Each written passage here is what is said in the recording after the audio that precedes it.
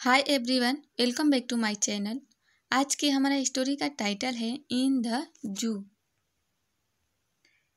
In the zoo जू का मतलब होता है चिड़ियाघर चिड़ियाघर में.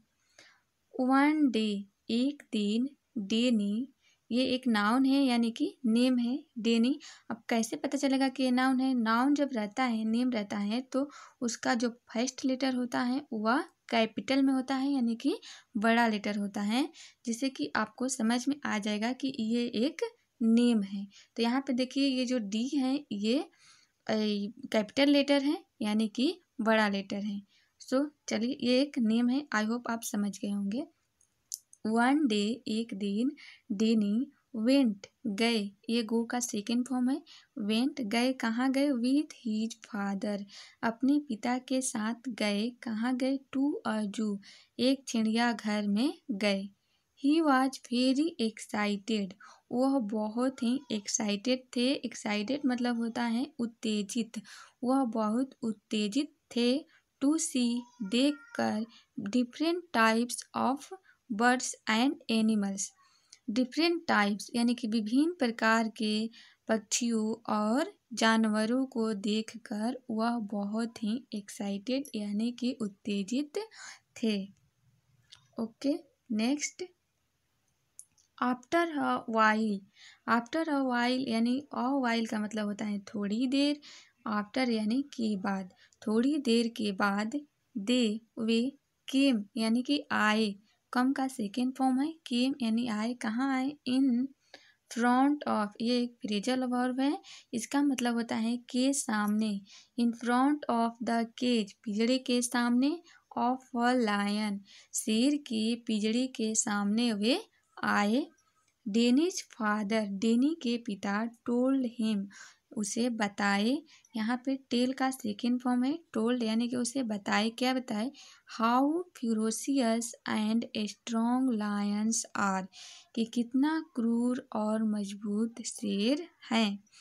फ्यूरोसियस यानी कि क्रूर स्ट्रॉन्ग मज़बूत लायन शेर है आर यानी कि हैं। कितना क्रूर और मज़बूत शेर हैं। Dennis Denny was listening very attentively. Denny बहुत ही ध्यान से सुन रहे थे। यहाँ पे अटेंटिवली का मतलब होता है ध्यान से, लिसनिंग यानी कि सुनना। वाज लिसनिंग यानी कि सुन रहे थे, वेरी अटेंटिवली बहुत ही ध्यान से। Okay, next. फाइनली फाइनली का मतलब होता है अंत में। He spoke up.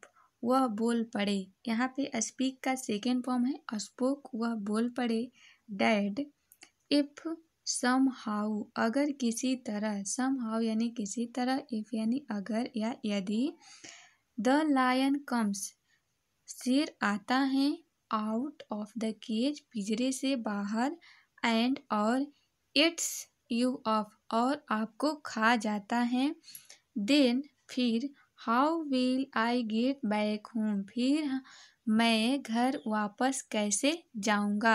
Get back यानी कि वापस जाना, होम यानी कि घर वापस कैसे जाऊँगा? एट लिस्ट एट लिस्ट का मतलब होता है कम से कम एट लिस्ट कम से कम टेल में यानी कि मुझे बताइए, क्या बताइए? द रूट रास्ता टू रीच होम घर पहुँचने के।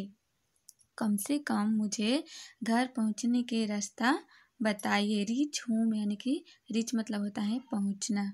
Okay, next. आई होप आप लोग समझ में, आप लोगों को समझ में आ रहे होंगे। डेनीज फादर, डेनी के पिता लाफ्ट यानी कि हंस पड़े। At at the innocent question of the son. बेटे के इनोसेंट यानी कि मासूम क्वेश्चन यानी सवाल, मासूम सवाल पे जो डेनी के पिता थे वे हंस पड़े। यहाँ पे लाफ लाफ यहाँ पे लाफ्ट है। लाफ का सेकेंड फॉर्म है लाफ्ट सो दैट्स ऑल इतना ही था स्टोरी आई होप आप लोगों को स्टोरी समझ में आई होंगी। यदि आप स्टोरी को फिर खुद से रीड करेंगे। आप प्ले स्टोर में जाके इस बुक को डाउनलोड कर ले। वहाँ पे आपको सर्च करना है शॉर्ट स्टोरी इन इंग्लिश। ये बुक सेकेंड नंबर पे आ जाएगा। आप खुद से रीड करिए। यदि आप बिगनेस हैं तो आप खुद से, मेरे वीडियोज़ को देखने के बाद आप खुद से रीड करेंगे। तभी आपको पता चलेगा कि आपको कहाँ पे कौन से सेंटेंसेज और कौन से वर्ड समझ में नहीं आ रहे हैं। और जहाँ भी समझ में नहीं आ रहा है, फिर से मेरे वीडियोज़ को देखिए और उन सेंटेंसेज और वर्ड को समझिए। इससे आपकी नॉलेज जो है वह बहुत ही ज़्यादा होगी। तो so that's all for today आज के लिए इतना है। यदि आपको वीडियो पसंद है तो वीडियो को लाइक शेयर और चैनल पर नहीं है तो चैनल को सब्सक्राइब ज़रूर कर लें। ताकि ये बुक की डेली की जो मैं वीडियो अपलोड करती हूँ, वो सबसे पहले आपके पास पहुँचे। So that's all for today keep practising keep learning and have fun